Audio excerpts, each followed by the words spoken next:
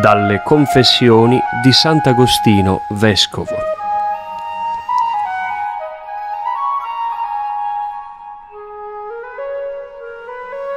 Il mediatore autentico che la tua misericordia misteriosa rivelò e mandò agli uomini affinché dal suo esempio imparassero proprio anche l'umiltà, questo mediatore fra Dio e gli uomini, l'uomo Gesù Cristo, si presentò fra i peccatori mortali e il giusto immortale.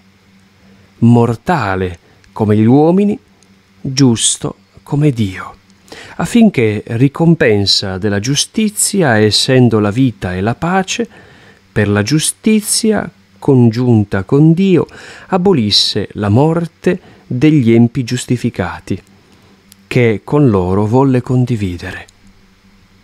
E lui che fu rivelato ai santi del tempo antico perché si salvassero, credendo nella sua passione futura, come noi credendo nella sua passione passata, in quanto è uomo, intanto è mediatore in quanto verbo invece non è a metà, poiché è uguale a Dio, Dio presso Dio e insieme a Lui unico Dio.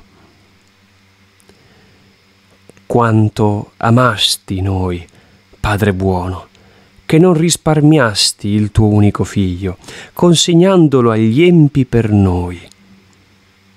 Quanto amasti noi, per i quali egli, non giudicando un'usurpazione la sua uguaglianza con te, si fece suddito fino a morire in croce, lui, l'unico a essere libero fra i morti, avendo il potere di deporre la sua vita e avendo il potere di riprenderla.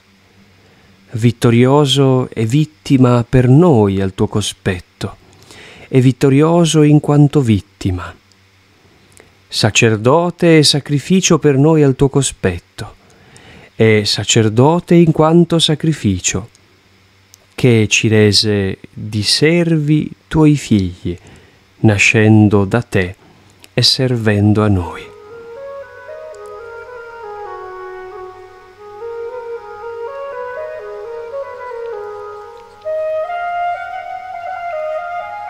Ha ragione e salda la mia speranza in Lui, che guarirà tutte le mie debolezze, grazie a chi siede alla tua destra e intercede per noi presso di te. Senza di Lui dispererei. Le mie debolezze sono molte e grandi, sono molte e grandi, ma più abbondante è la tua medicina. Avremmo potuto credere che il tuo verbo fosse lontano dal contatto dell'uomo, e disperare di noi, se non si fosse fatto carne e non avesse abitato tra noi.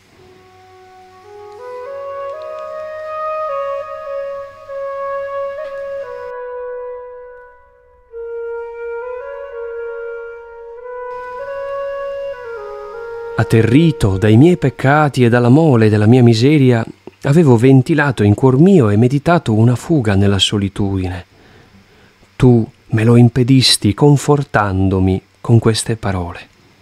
Cristo morì per tutti, affinché i viventi non vivano più per se stessi, ma per colui che morì per loro.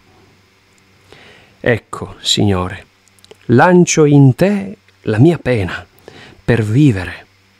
Contemplerò le meraviglie della tua legge. Tu sai la mia inesperienza e la mia infermità. Ammaestrami e guariscimi. Il tuo unigenito in cui sono ascosi tutti i tesori della sapienza e della scienza, mi riscattò col suo sangue. Gli orgogliosi non mi calunnino se penso al mio riscatto. Io mangio, io bevo e io distribuisco. Se povero, desidero saziarmi di lui, insieme a quanti se ne nutrono e si saziano loderanno il Signore coloro che lo cercano.